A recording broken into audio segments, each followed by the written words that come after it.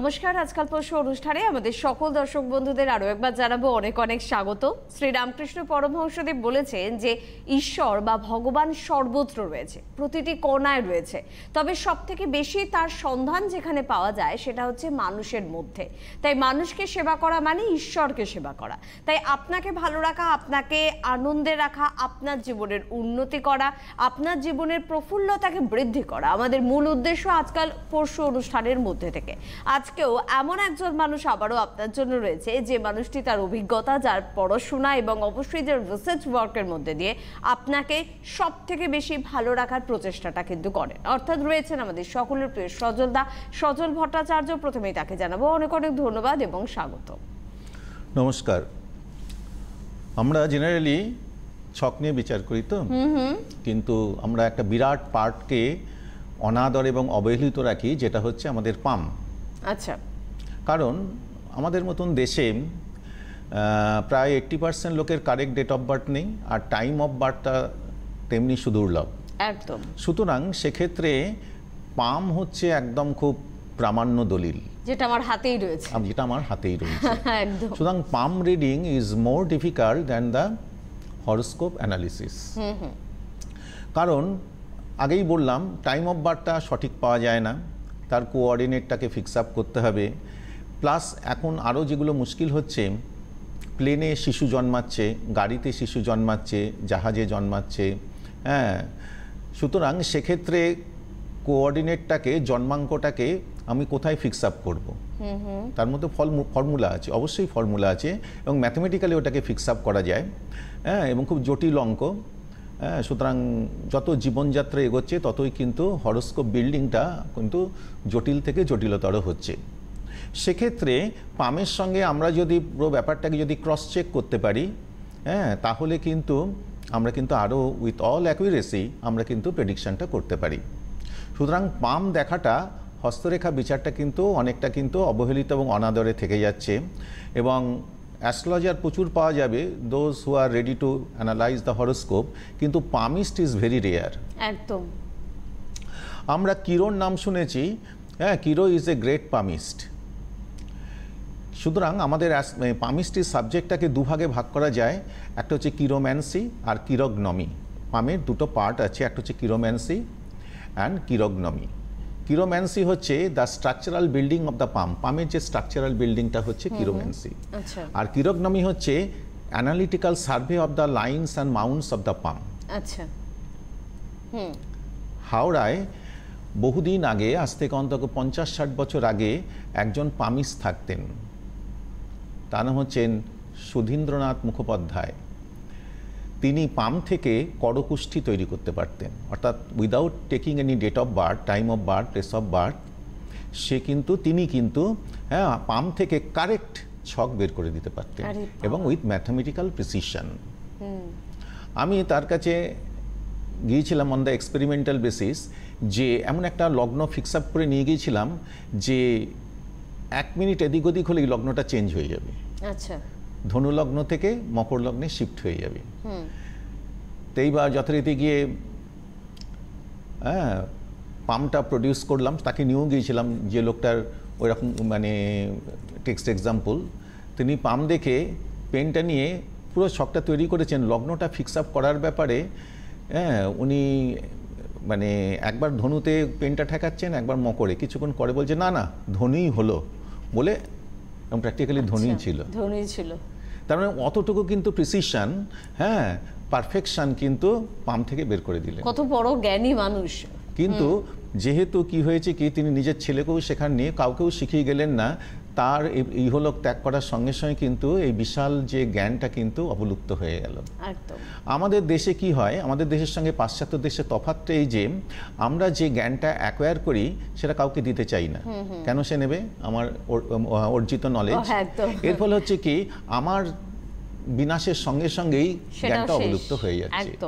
ওরা করছে কি বিদেশে করছে কি বিদেশিরা তারা করছে কি আমি এতটা জেনেছি আমি ওটাকে পেপারটাকে প্রডিউস করে দিলাম তোমরা যদি পারো ওখান থেকে ডেভেলপ করো। আরও বেশি উন্নতির দিকে নিয়ে যাওয়া আমি এতটা জেনেছি আমি তো আর সব জানতা নই। সব জেনে ফেলেছি এ তো হতে পারে না। সুতরাং আমি এতটা পেরেছি বা এতটা জেনেছি এরপরে আমি ওটাকে পাবলিশ করে দিলাম এবং তোমরা যদি কেউ কিছু পারো তো করো না আরও এগিয়ে নিয়ে যাও বিষয়টাকে। এরপর হচ্ছে কি তাদের রাইজিংটা খুব র্যাপিড হচ্ছে। একদম একদম। আর আমাদের ওই যে হ্যাঁ, কুপমণ্ডুকতা আমি কেন আমার নলেজটা দেবো? দেবো, দিতে গিয়েই কিন্তু নিজের ছেলেকেও দিচ্ছে দিল না। না দেওয়ার ফলে কিন্তু এই সমস্ত মানে গভীর জ্ঞানগুলো কিন্তু অবলুপ্ত হয়ে গেছে। ঠিক আছে? তা যা হোক জিনিসটা আমারও অধারা। কিন্তু so far the palm is concern I have got the in depth knowledge তাহলে আমরা যেমন পাশ্চাত্য দৃষ্টিকোণ থেকে কিরকনামি কিরোম্যান্সি দুটো পার্ট করলাম তেমনি পাম সম্বন্ধে আমাদের প্রামাণ্য নথিপত্র রয়েছে হ্যাঁ সামুদ্রিক শাস্ত্র হিসাবে এবং সমুদ্র ঋষি এই পাম শাস্ত্রটাকে রচনা করেছিলেন বলে যেমন পরাশর যেমন জ্যোতিষশাস্ত্র রচনা করেছেন তেমনি সমুদ্র ঋষি নাম অনুসারে হ্যাঁ এই পামিস্ট্রিটাকে পামিস্ট্রি সাবজেক্টটা রয়েছে হ্যাঁ সামুদ্রিক শাস্ত্র হিসাবে বর্ণিত রয়েছে। এ সম্বন্ধে প্রামাণ্য দলিল রয়েছে আমাদের বিএইচইউতে বেনারস হিন্দু ইউনিভার্সিটিতে অরিজিনাল কিন্তু সামুদ্রিক শাস্ত্রের কিন্তু টোটাল ভলিউমটা রয়েছে। I have the opportunity to go through it partially হ্যাঁ সেইটুকু নলেজটাও কিন্তু কম নয়। আমরা আস্তে আস্তে কিন্তু সেটা আপনাদের কাছে পরিবেশন করব। একদম একদম সচলতা আমরা ঠিক সেদিকে এগোবো। তবে তার আগে একজন বন্ধু আছেন কথা বলব। কে আছেন? নমস্কার। কে বলছি নমস্কার স্যার। কোথা থেকে ফোন হ্যাঁ। করছেন? কাটোয়া থেকে। কাটোয়া থেকে ফোন করছেন। কেমন লাগে সচলতার অনুষ্ঠান? হ্যাঁ, সজল স্যারের প্রোগ্রাম আমি দেখি এবং আমার মাসির মেয়ে গিয়েছিল দেখিয়ে সরকারি চাকরি পেয়েছে। সরকারি চাকরি পেয়েছে? হ্যাঁ হ্যাঁ হ্যাঁ। বাহ খুব ভালো চাকরি পেয়েছে। স্কুলে চাকরি পেয়েছে এবং আমি মানে স্যারকে একটু মানে অনলাইনে কথা বলব আর কি তো তার আগে একটু জানতে চাচ্ছি আমার নিজের সম্বন্ধে। হ্যাঁ তো স্যার নমস্কার আপনাকে। আজকে আপনি কার সম্বন্ধে জানবেন? নিজের। আমি আমার নিজের সম্বন্ধে। নিজের সম্পর্কে জানবেন। ডেট অফ বার্থ বলুন। হ্যাঁ উনিশ এক উনিশশো সাতাশি। উনিশ কি বলল? এক। হ্যাঁ উনিশ এক উনিশে জানুয়ারি। উনিশে জানুয়ারি। উনিশশো সাতাশি। উনিশশো সাতাশি এইটটি সেভেন হ্যাঁ হ্যাঁ সময়টা বলবেন? সময় সকাল দশটা পঁয়ত্রিশ। সকাল দশটা পঁয়ত্রিশ জন্মস্থানটা কোথায়? মুর্শিদাবাদের কান্দি। আচ্ছা। কোথায় বলল? মুর্শিদাবাদের কান্দি। কান্দি। আচ্ছা। তা যা হোক দেখা যাচ্ছে কি সিংহ রাশি পুরো ফাল্গুনী নক্ষত্র মীন লগ্ন হ্যাঁ? কি আসছে? চারটা। মঙ্গলের পজিশন দেখা যাক, লগ্নে মঙ্গল বসে আছে। মঙ্গল হচ্ছে টেকনিক্যালিটিসের কারগ্রহ মীন লগ্নে লগ, মঙ্গল বসে আছে। চারটে ঘরকারী অর্ধকালসর্প যোগ আছে। এনিওয়ে দশম স্থান, সপ্তম নবম দশম। দশমপতি হচ্ছে বৃহস্পতি, সক্ষেত্রে বসে বুধায়িত্ব যোগ রয়েছে, একাদশে বুধায়িত্ব যোগ। সুতরাং টেকনিক্যাল দিকে নলেজ এবং চাকরির কর্মের যোগটাও কিন্তু মানে দত্তক রাশিতে বসে আছে। সুতরাং একাধিক কর্মের যোগ রয়েছে। কিন্তু বর্তমানে কর্মের জায়গাটায় কেতু বসে আছে ট্রানজিটে সুতরাং কর্মজনিত সমস্যা থাকবে। আচ্ছা। তার জন্য ইনিও খানিকটা দায়ী খুব স্পষ্ট সত্য কথা বলেন তো? আচ্ছা, সেই জন্য আচ্ছা। অলরেডি কিন্তু এনমিটি তৈরি হয়ে গেছে। জেলাসিয়ান এনমিটি ওনার চারিপাশে কিন্তু তৈরি হয়ে গেছে। অনেকটা শুনলাম আগে একটু ওনার থেকেও শুনি। পড়াশোনাটা কি নিয়ে সেটা থেকে শুনব। হ্যাঁ আমি আমি বিটে করেছিলাম এবং সার্ভিস করতাম। কিন্তু সার্ভিসটা আমার লকডাউনের জন্য চলে গেছে। তো জানতে চাইছি আমার কি ভালো কোনো সার্ভিসের যোগ আছে? মানে গভর্নমেন্টের আচ্ছা কোনো জান- ভালো চাকরি আপনার হবে কিনা? আচ্ছা লকডাউনের কারণে হ্যাঁ, হ্যাঁ, বর্তমানে চাকরিটা নেই। লকডাউনে হ্যাঁ, যেমন বিয়েটা কবে হবে একটু জানতে চাইছি। আচ্ছা আরেকটা কথাও কিন্তু বলেছিলেন যে একাধিক কর্মের সাথে যুক্ত হওয়ার একটা প্রবণতা। আপনি কি এটাই একটাই চাকরি? মানে ফার্স্ট চাকরি ছিল ওটা? না না এর আগে আমি স্কুলে করতাম আর কি সেটা মানে ছেড়ে এটা করছে আচ্ছা একটা পরিবর্তন হয়েছিল বেশ বেশ হ্যাঁ হ্যাঁ হ্যাঁ। আর ওই নেচারটা বলো যেটা বললাম আচ্ছা আরেকটা কথাও কিন্তু সজলদা বললেন যে নিজের স্পষ্ট কথা বলার কারণে অনেক ক্ষেত্রে অনেক সমস্যা কর্মক্ষেত্রে তৈরি হতে পারে। এরকম কি কোনোদিন ফেস করেছেন? ঠিক ঠিক ঠিক। আমি ঠিক। কথা বলতে ভালোবাসি আর কি। আচ্ছা একদম ঠিক কথা। স্যার বিয়েটা একটু বলুন কবে হবে আর সার্ভিস কবে পাবো? আচ্ছা আমরা একটা একটা করে শুনি একটা একটা করে শুনি। তো যা হোক এখানে কি হচ্ছে এর দশম স্থান যেটা লকডাউনটা তো নিশ্চয়ই আমরা মানব কিন্তু দশম স্থানে কেতু দেড় বছর ধরে বসে থাকাতে এমনি কর্মস্থানটা লকডাউন হয়ে গিয়েছিল লকডাউন ইম্পোজ হওয়ার আগে থেকেই। আচ্ছা। হ্যাঁ দেড় বছর ধরে লকডাউন উনি চলছে। তো কর্মক্ষেত্রে কিন্তু এই ধরনের হ্যাঁ একটা সমস্যা কেতু এর দশম স্থান থেকে ট্রানজিটে বেরিয়ে যাবে টোয়েন্টি এইট সেপ্টেম্বর দু হাজার কুড়ি। তো করি যখন কেতু ওইখানটা কেতু যখন কর্মস্থানে ঢুকবে বা কেতু যদি কর্মস্থানে থাকে কর্মক্ষেত্রে পুল ব্যাক করে। এটা আমি একাধিকবার বলেছি। তা কেতু ট্যানজিটে ট্রানজিটে বেরিয়ে যাবে টোয়েন্টি হ্যাঁ সেপ্টেম্বর মানে এ মাসের কুড়ি তারিখে বেরিয়ে গেলে কর্মস্থানটা ক্লিয়ার হবে। আর লকডাউনও তো অটোমেটিক্যালি ক্লিয়ার হতে চলছে। হ্যাঁ, প্রায় প্রায় তুলেই দিল। হ্যাঁ তুলেই দিল আনলকের দিকে এগোচ্ছি। হ্যাঁ সুতরাং আশা করছি তোমার এ মানে এ মাসের অক্টোবর পুজোর পরে টরে থেকে ভালোই হয়ে যাবে আর কি। পুজোর পর থেকে কর্মের দিকটা কিন্তু ভালো হবে। আর লগ্নে মঙ্গল রয়েছে মাঙ্গলিক ওই জায়গাটা একটু রেমেডি করে নেবেন। যখন ধরা পড়ল আগেই তাহলে। বিবাহিত জীবনটা পিসফুল হবে। ঠিক মানে বিয়ে এখনও নিশ্চয়ই হয়নি? না না হয়নি কবে হবে কিন্তু আপনি মাঙ্গলিক এটাকে আপনি জানেন? আপনি মাঙ্গলিক। সেটাও আপনি জানেন না। তাহলে আপনি নিশ্চয়ই অনুষ্ঠান যেখানে দেখেন আপনার একটুখানি মোটামুটি একটা সম্যক জ্ঞান আছে যে মাঙ্গলিক হলে কিন্তু বিয়ের ক্ষেত্রে একটা সমস্যা আসে। সেটা বাড়িতে বসে বসে এমনি খুব ভালো পাত্রের সাথে আপনার বিয়ে হয়ে যাবে, এটা কিন্তু হবে না। যদিও হয় বিয়ের পর কিন্তু সমস্যা হবে। তাই যোগাযোগ অবশ্যই করতে হবে। সঙ্গে থাকুন, প্রত্যেকের ক্ষেত্রেই বলে রাখব। বুকিং নাম্বার বলে দেখুন, তিনটে নাম্বার টিভি স্ক্রিনে কিন্তু হোয়াইট বক্সে কিন্তু যাচ্ছে। এই নাম্বারগুলো কেন দেওয়া হয়েছে? আপনাকে মোবাইলে সেভ করতে হবে। যোগাযোগ করতে হবে। কারণ এখান থেকে একটা ধারণা আপনাকে আমরা দিতে পারি, সমস্যার সমাধান করে দেওয়া সম্ভব নয়। তার জন্য বিস্তারিত একটা আলোচনা, একটা পড়াশোনা, একটা পুরো পুঙ্খানুপুঙ্খ বিচারের প্রয়োজনীয়তা রয়েছে। তার জন্য যোগাযোগ করুন এবং বর্তমানে যেহেতু চেম্বার বন্ধ রয়েছে অনলাইনে কিন্তু যোগাযোগ করতে হবে। তবে বিষয়টা কিন্তু চার্জেবল অর্থাৎ একটা অ্যামাউন্ট আপনাকে কিন্তু জমা করতে হবে। বিস্তারিত বুঝতে হলে জানতে হলে এই যে নাম্বার তিনটে রয়েছে এই তিনটি নাম্বারে ফোন করুন যিনি ফোন রিসিভ করবেন তিনি সম্পূর্ণভাবে আপনাকে সহযোগিতা করবেন। আমরা যে বিষয়ে কথা বলছিলাম তাহলে আমরা আসছি যেমন আমরা বললেন কিরক নামী কিরোম্যান্সি তেমনি পামিস্ট্রি আমাদের ভারতীয় ঋষি যিনি প্রণয়ন করে গেছেন তার নাম হচ্ছে সমুদ্র ঋষি তাই নাম হচ্ছে সামুদ্রিক শাস্ত্র। আচ্ছা। তাহলে সমুদ্র ঋষি প্রণীত শাস্ত্র তো সমুদ্র সম হ্যাঁ just like a ocean vast ocean সুতরাং এক্ষেত্রেকে হ্যাঁ বহু মণিমুক্ত আমি সংগ্রহ করে রেখেছি। সুতরাং পাম থেকে অ্যাকুরেটলি বলে দেওয়া যায় যে কামিং হ্যাপিনিংস পাস্ট হ্যাপিনিংস কী কী ঘটেছে আর প্রেজেন্ট তো আপনার জানা পাম থেকে বলা যায়। আমরা পামের কিছু এক্সাম্পল তুলে ধরবো। বহু পামের কপি আমার কাছে আছে। হ্যাঁ সেগুলো এক্সাম্পল তুলে ধরে বিচার করলে আপনাদের কাছে অনেক বেশি কিন্তু এটা সহজগম্য কিংবা বোধগম্য হবে।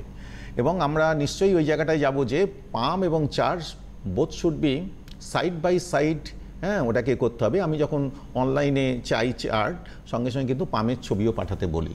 সেক্ষেত্রে কিন্তু ট্যালি করাটা কিন্তু খুব সুন্দর হয় এবং উই ক্যান রিচ দ্য হ্যাঁ কারেক্ট ডেস্টিনেশন অফ প্রেডিকশান ঠিক সঠিক জায়গায় কিন্তু আমরা কিন্তু পৌঁছতে পারি।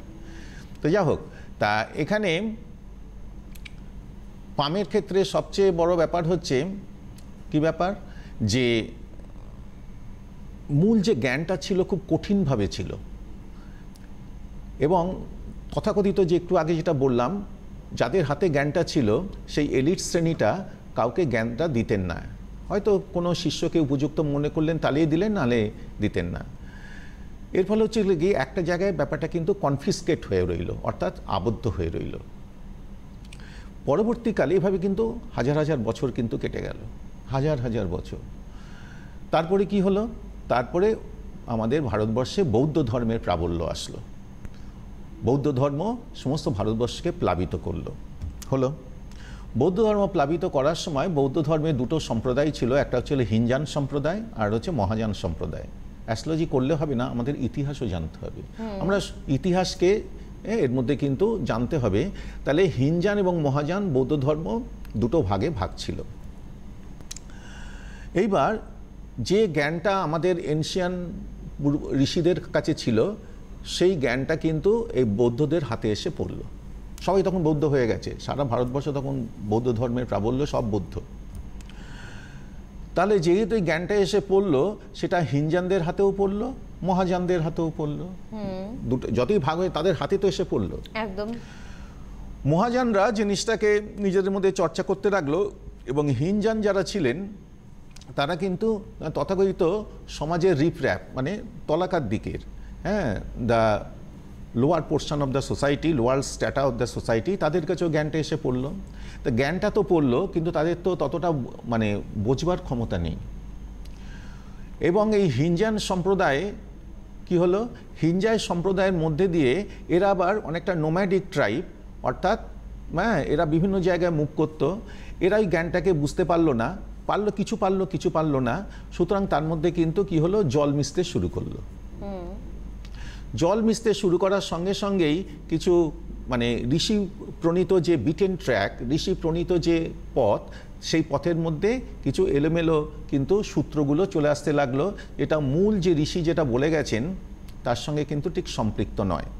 এই হিনজান সম্প্রদায়ের হাত থেকে জিনিসটা গিয়ে পড়ল জিপসি সম্প্রদায়ের হাতে।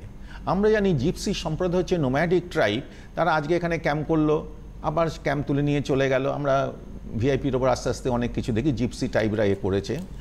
সুতরাং এই জিপসি ট্রাইবে এরা করতে কি, এক দেশ এক দেশ থেকে আরেক দেশে চলে যেত, এক মহাদেশ থেকে একটা কন্টিনেন্ট থেকে আরেকটা কন্টিনেন্টে চলে যেত। সুতরাং ভারতবর্ষ থেকে একটা জিপসি ট্রাইব চলে গেল মিডল ইস্টের মধ্যে দিয়ে জার্মানিতে চলে গেল। সুতরাং সেইখানে গিয়ে কি হলো? সেইখানে গিয়ে তখনকার যে, ওখানকার যে পণ্ডিত যারা ছিলেন তারা দেখল যে জিপসি টাইপের মধ্যে একটা কিন্তু গভীর একটা কিন্তু ওরিয়েন্টাল নলেজ আছে আচ্ছা। প্রাচ্যদেশীয় জ্ঞান। কেউ আছে কি? আছেন। তো আমরা নিয়ে নিয়ে অবশ্যই বিস্তারিত একটা আলোচনা। ধীরে ধীরে আবারও এগোবো তবে কে আছেন? নমস্কার। হ্যালো হ্যালো হ্যাঁ টিভির ভলিউমটা জিরো রাখতে হবে কিন্তু। কে বলছেন? হ্যাঁ। আমি আমার ছেলের সম্বন্ধে জানতে চাই। কে বলছেন দিদিভাই? কোথা থেকে বলছেন? আমি হাওড়া শিবপুর থেকে বলছি লিলি সরকার। আচ্ছা। আমার ছেলের নাম দেবাঞ্জন সরকার। কেমন লাগে অনুষ্ঠান আপনার? ভালো লাগে কিন্তু আমি পাই না কোনোদিনই। আচ্ছা অনেকদিন পর ফোন পেয়ে গেছি। Okay okay date of birth বলুন। হ্যাঁ। বলুন। হ্যাঁ ডেট অফ বার্থ হচ্ছে বারো ছয় নাইনটিন নাইনটি ফাইভ বারো ছয় উনিশশো পঁচানব্বই। টাইম সময়টা বলুন। তোমার দশ সকাল দশটা সাতাশ আর জন্মস্থান হচ্ছে কলকাতা দমদম। আচ্ছা কলকাতা। কলকাতা। তাহলে সোমবার জন্ম তাই তো? হ্যাঁ সোমবার সিংহ লগ্ন বৃশ্চিক রাশি অনুরাধা নক্ষত্র সাধ্য যোগ। ঠিক আছে। তাহলে আমরা কি কি পাচ্ছি? ভালো চার্ট আচ্ছা। অনেকটা শাইনিং চার্ট হুম।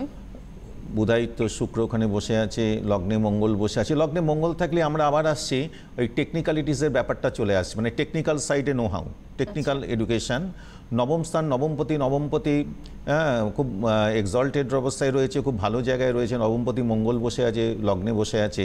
নবম স্থান থেকে উচ্চশিক্ষা সুতরাং উচ্চশিক্ষা টেকনিক্যাল লাইনে উচ্চশিক্ষার যোগাযোগ রয়েছে।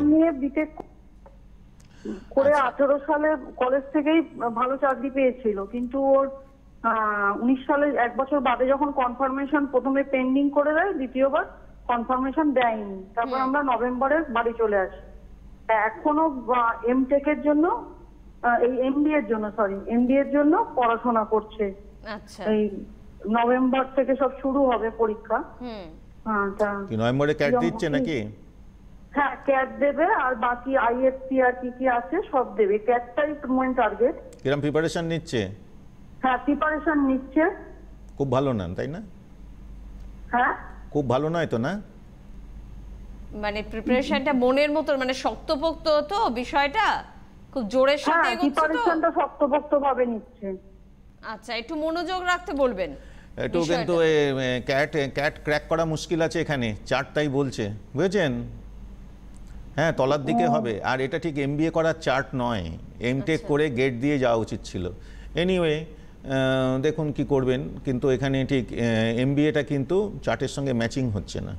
দিদিভাই আপনারা যোগাযোগ তো করেন কিন্তু এমন একটা সময় এসে যোগাযোগ করেন না যে সময় হাত থেকে অনেক কিছু বেরিয়ে যায়। অনেকটা সময় কিন্তু এগিয়ে এসেছেন। কেন আগে যোগাযোগ করেন না? বারবার অনুষ্ঠানে বলি আপনি বললেন দীর্ঘদিন অনুষ্ঠান দেখছি ফোন পাই না। ফোন নাই পেতে পারেন, চেম্বার ছিল বা এখন অনলাইন কনসালটেন্সি রয়েছে, যোগাযোগ করতে পারতেন। সঙ্গে থাকুন, সন্তান আপনার, তার উন্নতি, তার এবং আপনার পরিবারের। তাই অবশ্যই তাদের ভালো হোক, সেটা তো আমরা প্রত্যেকে কামনা করি। কিন্তু উৎসাহ এবং ইচ্ছেটা যদি আপনাদের তরফ থেকে না থাকে তাহলে সজলদা তো প্রত্যেকের বাড়িতে পৌঁছে যেতে পারবে না। আপনাকেই সজলদার দোরগোড়া কিন্তু আসতে হবে। যোগাযোগ অবশ্যই কিন্তু করা উচিত ছিল। আমরা এখনও কিন্তু অভিভাবকদের বলি খুব অল্প বয়সে যোগাযোগ করুন যখন তার জন্য কিছু ভাবনা চিন্তা করার সময় থাকবে। অলরেডি এমটেক টেমটেক হয়ে যাওয়ার কথা ছিল। গেছে, হ্যাঁ, হ্যাঁ। সুতরাং lagging behind in the race of life জীবনের দৌড়ে অনেকটা পিছিয়ে পড়েছে। সেখান থেকে ব্যাক করা আর এমবিএটা চার্টের ঠিক এ নয় ম্যাচিং হচ্ছে না। মানে ও যেটা ভাবছে সেটা ওর জন্য খুব একটা ভালো নয়। তাহলে কেন এরকম একটা হজপট একটা বিষয় আমার জীবনকে নিয়ে আমি তৈরি আসলেই তো করব? বেসিক্যালি তো কারেক্টলি গাইড তো করতে পারে না। Guide অবশ্যই, সেটাই তো দরকার না। অভিভাবকদের তো বলব কিন্তু যারা ভুল করে ফেলেছেন তারা ইমিডিয়েট যোগাযোগ করুন। এখনও যদি যোগাযোগ করেন কিছু করা যাবে কিন্তু এর পর হয়ে গেলে আর কিছুই কিন্তু হাতে কিন্তু থাকবে না। এনিওয়ে যাই হোক, আমরা হাত নিয়েই কথা হাত বলছিলাম। নিয়েই কথা বলছিলাম। সাবজেক্টটা ইন্টারেস্টিং না? একদম ভীষণ মানে বিশাল সাবজেক্ট একটু মানে পল্লবগ্রাহিতা করে মোটামুটি বোঝানোর চেষ্টা করছি। তা যা হোক জিপসি টাইপের হাত দিয়ে চলে গেল জার্মানিতে। জার্মানিতে গিয়ে ওখানকার যারা পণ্ডিত যারা লোক তারা দেখল যে জিপসি টাইপের মধ্যে কিন্তু একটা জ্ঞান কিন্তু গভীরভাবে কিন্তু রয়েছে। আচ্ছা। তারা করল কি ওই জ্ঞানটাকে নিল। ততক্ষণ পর্যন্ত কিন্তু তাদের হাতে কিন্তু পামিস্ট্রি বলে কিন্তু কোনো কনসেপ্টই ছিল না। আচ্ছা। কিরো তো অনেক পরে কিরো তো আসলো এসে ভারতবর্ষের শিক্ষাটা নিল তারপরে এ করল। তা এই অবস্থাতে কি হলো? এই অবস্থাতে তারা যখন জ্ঞানটা নিল অলরেডি আমি আগেই বলেছি হ্যাঁ যেমন এই একটা হাতের চার্ট দেখানো হচ্ছে এই হাতের চার্টটা হচ্ছে একটু মোটা টাইপের হাত মানে একজন কাবুলিওয়ালার হাত। কাবুলি কাবলিওয়ালা যাদের কাছ থেকে আমরা আমাদের মানে বিখ্যাত রবীন্দ্রনাথের কাবলিওয়ালা বই হ্যাঁ হ্যাঁ। এই হাতটা কাবলিওয়ালা হাত একসময় দেখেছিলাম হাতটা হাতটা এখানে তুলে ধরলাম। কাবলিওয়ালাদের হাত বেশ বড় হয় ও এর হাতটাও মোটামুটি বড় হৃদয় রেখাটা বেশ ভালোভাবে বৃহস্পতির মাঝামাঝি শেষ হয়েছে ক এবং ক শিরোরেখাটা ধীরে ধীরে সামান্য চন্দ্রের দিকে নুয়ে পড়েছে। শুক্রস্থানের বৈচিত্র্য থেকে ওর চারিত্রিক কাঠামোটা জেনে নিলাম। ভাগ্যরেখা প্রথমে মোটা থেকে ক্রমশ সরু হয়ে হৃদয় রেখা অবধি এসে শেষ হয়েছে।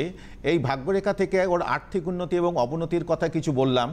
চন্দ্র থেকে যেটা প লেখা আছে, একটা রেখা সতেরো আঠেরো বছর নাগাদ ভাগ্যরেখায় এসে ছেদ করে বেরিয়ে গেছে দেখে এবং বিয়ে রেখা স্থানে এই বয়সে ছোট ঊর্ধ্বমুখী একটা বিয়ে রেখা দেখে স্থির সিদ্ধান্তে এসে বললাম, আপনার সতেরো আঠেরো বছর বয়সে একটা মহব্বত ভেঙে গেছে। সতেরো আঠেরো বছর বয়সে শিরোরেখার একটু টাল খাওয়া এবং চন্দ্র থেকে সাপের মতো একটা রেখা উঠে শিরোরেখায় মিলে যাওয়া থেকে কিছুটা দ্বিধা জড়ানো ভঙ্গিমায় বললাম, আপনি খুব আশা করেছিলেন মেয়েটিকে বিয়ে করবেন, কিন্তু মেয়েটি বেইমানি করায় আপনি রেগে গিয়ে মেয়েটিকে মেরে ফেলার পর্যন্ত ব্যবস্থা করে ফেলেছিলেন। আমার কথাগুলো ভূত দেখার মতো বিস্ময়ে চোখ বড় বড় করে ঠায় মুখের দিকে তাকিয়ে শুনছিল। ব্যাপারটা আমার নজর এড়ালো না এবং আমার বক্তব্যের সঠিকতা সম্বন্ধে নিঃসন্দেহে আবার বললাম ওই সময় সে বিদেশে চলে এলেন। আমি জানতাম সতেরো আঠেরোতেই ও এখানে এসেছে। হাতেও এর চিহ্ন ছিল। আয়ুরেখা থেকে সতেরো আঠেরোতে একটা শাখা বেরিয়ে চন্দ্রের দিকে চলে গেছে, যা বিদেশবাসের ইঙ্গিত দিচ্ছে। আমার কথা শেষ হতেই এই কাবলিওয়ালাটার নাম ছিল আক্তার খান। বলে উঠল, বিলকুল সাজ বলেছিস। আমার ওরকম একটা ঘটনা ঘটেছিল, মেয়েটাকে চাকু মেরে দিয়েছিলাম। মরেনি বেটি। আচ্ছা বন্ধু, এটা কি করে বললে? আমি কি করে ঘটনাটা বললাম, রেখা ধরে ধরে ওকে বুঝিয়ে দিলাম। সুতরাং দেখুন, একটা হাতের মধ্যে থেকে কেউ সুন্দর অ্যানালিসিস করে তার পাস্ট হিস্ট্রি বর্তমান তো আপনি জানেন ভবিষ্যৎ কবে সেটাও বলা যাবে কিন্তু অতীতটা আপনি খুব ভালো জেনে রেখেছেন। সুতরাং অতীতের যদি মণিমুক্ত যদি হাত থেকে বের করে নিয়ে আসতে পারি তবে কিন্তু এই সাবজেক্টটার প্রতি আপনার এবং আপনাদের কিন্তু হ্যাঁ গভীর বিশ্বাস জন্মাবে। এবং এই বিশ্বাসটার থেকে আমরা অনেকটা বিচ্যুত হয়ে গেছি। সুতরাং বিশ্বাসটাকে আর্ন করতে গেলে পামটাকে কিন্তু আমরা কিন্তু অ্যানালিটিক্যাল সার্ভেতে রাখব এবং এইভাবে যেভাবে সাইন্টিফিকভাবে বিচার করছি হ্যাঁ সেইভাবে সাইন্টিফিকভাবে যদি আপনাদের পাম যদি বিচার করা যায় অ্যালং উইথ দ্য চার্ট তাহলে কিন্তু এটা কিন্তু সাবজেক্টটা কিন্তু একটা চরম বিশ্বাসযোগ্যতা জায়গায় পৌঁছে যাবে এবং যেখান থেকে কিন্তু ভবিষ্যৎ আপনাদের ঘটনাবলী যেগুলো ঘটবে তার রূপরেখা আমি অবশ্যই কিন্তু বা আমরা নির্ণীত করতে পারব। সুতরাং দিস ইজ দ্য অ্যাস্ট্রোলজি এবং পামিস্ট্রি পাম নিয়ে আমরা কিছু এখানে আমরা কিছু কি বলব আর কি ক্লাসও নেব আর কি। হ্যাঁ যার ফলে হচ্ছে কি আপনাদের কিন্তু চরম ঔৎসক্য বাড়বে যে আমার পামে কি আছে। আপনাদের নিজেদের পামকে স্টাডি করো আমার যে অ্যানালিসিস সঙ্গে সেটাকে যদি মিক্সিং করতে পারেন তাহলেও কিন্তু হুম কিছু কিছু জ্ঞান লাভ হবে। হ্যাঁ সুতরাং আমরা ইন ফিউচার কোর্স হ্যাঁ আমরা কিন্তু পামটা নিয়ে কিন্তু একটু ডিটেলসে যাব। এবং এই বিশাল সমুদ্র শাস্ত্র মানে সমুদ্র যে শাস্ত্র হচ্ছে সমুদ্র শাস্ত্র থেকে কিছু মণিমুক্ত আরও আহরণ করে আপনাদের কাছে পরিবেশন করব। এই ব্যাপারে কিন্তু আমরা প্রতিশ্রুতিবদ্ধ আর কি। অনেকে কিন্তু এখানে স্টুডেন্টরাও থাকে যারা নিয়ম করে হ্যাঁ, কিন্তু হ্যাঁ, অনুষ্ঠান ফলো করেন। এবং তারা কিন্তু এই অনুষ্ঠান থেকে অনেক কিছু জানার শেখার ইচ্ছে প্রকাশ করে। আমার মনে হয় সত্যি সেজন্য বলে থাকি এটা একটা ক্লাসরুম যেখান থেকে আপনি অনেক কিছু শিখতে পারবেন। আপনি একজন পেশাগতভাবে বিষয়টাকে নিন বা আপনার নেশাগতভাবে নিন। কিন্তু যে কোনো দিক থেকে আপনি যে জ্ঞান লাভ করবেন এখানে কিন্তু আমরা একেবারে নিশ্চিত। যদি আজকে হাতে সময় একদম নেই সজলতাকে ধন্যবাদ ধন্যবাদ অবশ্যই আপনাদের এই বিষয় নিয়ে আবারও এগোবো আমরা। নমস্কার।